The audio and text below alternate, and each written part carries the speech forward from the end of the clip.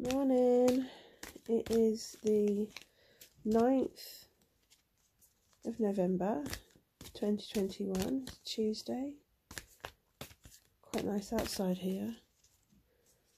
And uh, let's see what card we get today. We have the Seven of Stars with the keyword faith.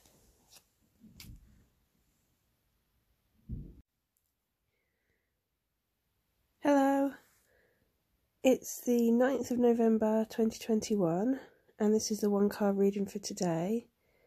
And we've got another absolutely gorgeous card coming through for us today.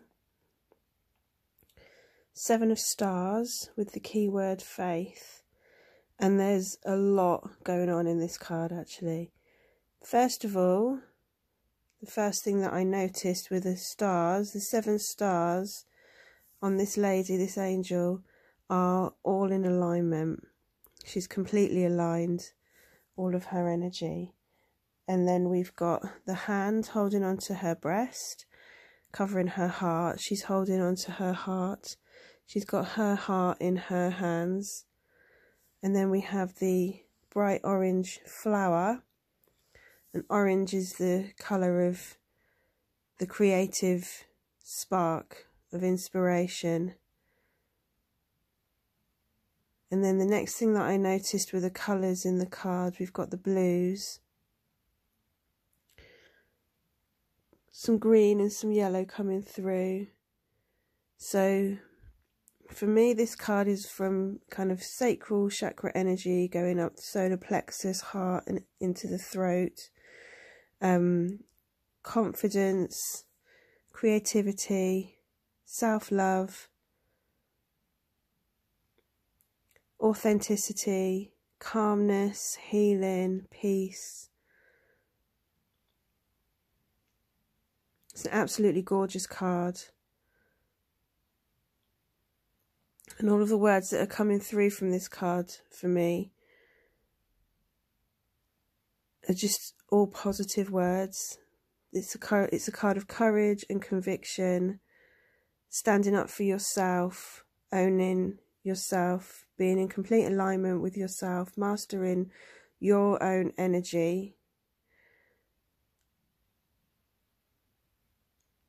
So the Seven of Stars corresponds to the Seven of Wands in the Rider Waite deck, which is a card of standing your ground, perhaps having to put up your defences. So for me, it's a card of protection putting up your spiritual protection, protecting your own energy, standing your ground, knowing your limits and staying within your limits and making sure that other people stay within your limits.